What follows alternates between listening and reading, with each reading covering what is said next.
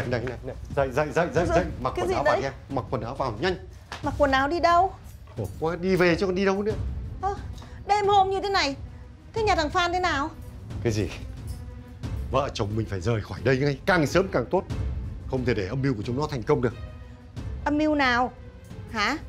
Wow. Ý anh nói là sự nguy hiểm ấy Em hiểu không? Ở đây anh cảm thấy không an toàn, không an toàn một chút nào cả. Thế nhưng mà đêm hôm như thế này Đi ra ngoài đường làm gì bắt được xe? Thì em chả bảo là cái xe dịch vụ ở nhà này nó gần đây thôi. Ra đấy rúi cho nó ít tiền.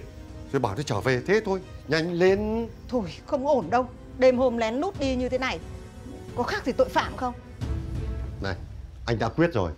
Mẹ con em phải nghe anh. Là thằng đàn ông mà không bảo vệ được vợ con Vứt. Thế gọi con Linh chưa? Nói thật Con Linh nó không ở trong phòng đâu Có khi nó đang ở phòng thằng Phan Hả? Sao ở phòng thằng Phan? Là bởi vì thằng Phan nó không phải là con đẻ của anh Sao? Sao rồi?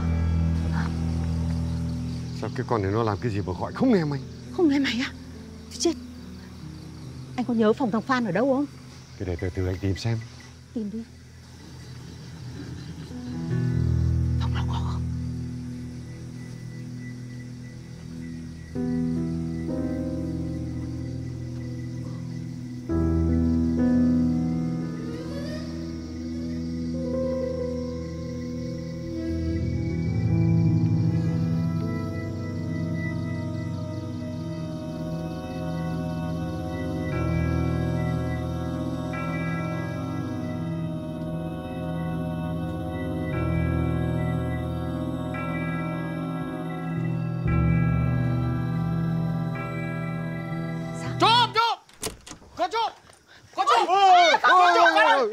cái ôi, ôi, ôi, ôi, Là chúng tôi. Chúng tôi. Thưa chị, chị Lâm Anh à? Ôi Ôi ôi Ôi trời. sợ quá. Hai bác. Khuya rồi đường xá thì đang hỏng. Hai bác đi đâu đấy ạ? Ờ, đi hóng hóng hóng gió. Đi đâu? Ơ, anh anh chị ơi Anh chị đi hóng gió à? Ờ, Ở đây tình hình an ninh trật tự tốt lắm Không có ăn trộm ăn cắp gì đâu. Đi hóng gió việc gì mà phải lễ mễ túi tiếc thế kia Mang mang túi của bác về đi con. Bác để con cất Không ạ. không không. Con Linh đâu? Ở trong phòng cậu cơ mà. Bảo nó đi ra đây đi.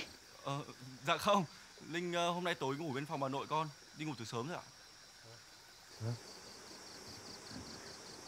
Sao anh em? Về phòng.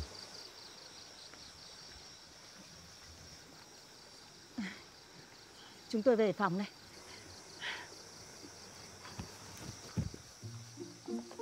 Này này này. Bố mẹ Linh có bình thường không Bình thường mà bố? Hành hành tung bí ẩn đấy. Mà bố có một bác cái phát nào không đấy? Chưa. Chắc suýt nữa đấy Tôi nện một cái thì chết dở nhỉ